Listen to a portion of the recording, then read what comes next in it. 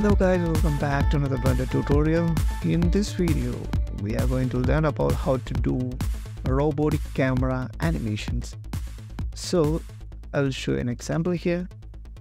So, this is what we are going to make in this video. So, let's start. So, first of all, I'm deleting this camera. Okay. Now, Shift A I'm adding a camera. A camera is over there. So I need to snap it over here. For that, Control Alt Numpad 0 and Shift F. Uh, so if your walk navigation is not working, you can go here, View, Navigation, and on the down corner, there is option Walk Navigation. So now it's assigned to Shift F shortcut in here instead of change, change shortcut it will be assign shortcut or something like that.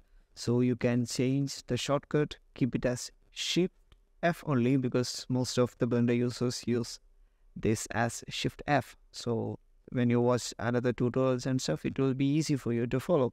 So use shift f and that's it. So let's go to first frame select our camera. Don't forget that and click i and location rotation. So I give a keyframe here and I'm going to 45th frame. Then I'm clicking our previous keyframe which I gave and duplicating it, Shift D and dragging it into 45th frame. Nice. After that, if you click your right arrow button, you can jump from frame to frame. So I'm going to do 15th frame then going to click Shift F. Okay, cool. Okay, this time I'm concentrating on the tire. Okay, I'm going to keep my angle here and click I and location rotation. And keep in mind that always keep your camera selected either from here or from here. Okay, again, I'm selecting my last frame and duplicating it, Shift D, and going into 95th frame. So I'm keeping it there, and I'm going to the 100th frame. And again, I'm changing my view. This time, let's showcase the logo or the name of this car. Dots, nice. Click I, location rotation. So nice.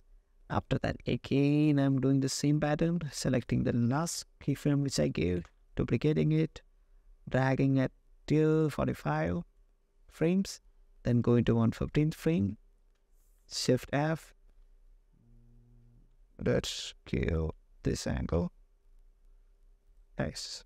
I location rotation. Again, selecting the last frame, going into 195 now go to 200 range. Again say here in here there is another logo. Let's portray that from this angle. Nice. I location rotation. Again select your last frame go to 245 and go to your last frame and let's show this car completely over here. Mm, yeah.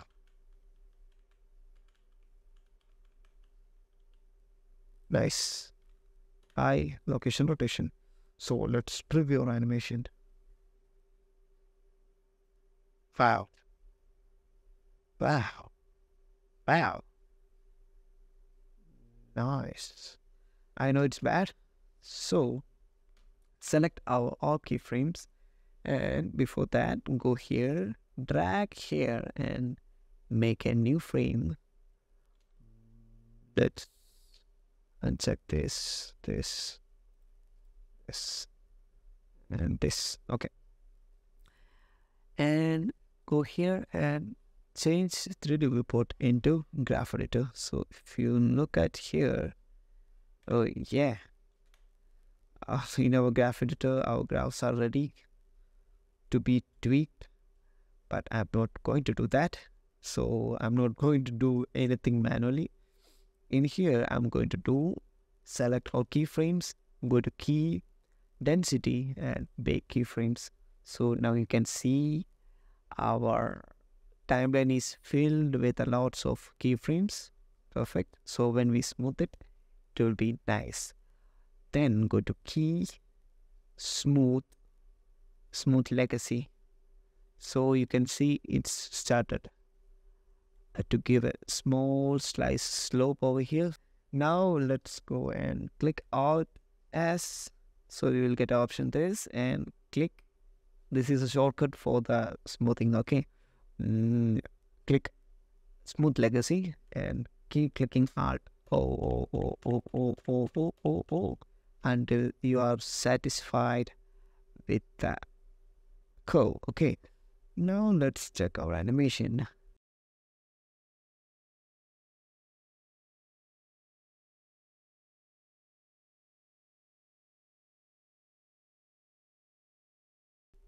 so that's it that so that's it our video so i hope you like this animation and uh, i hope you understand my english.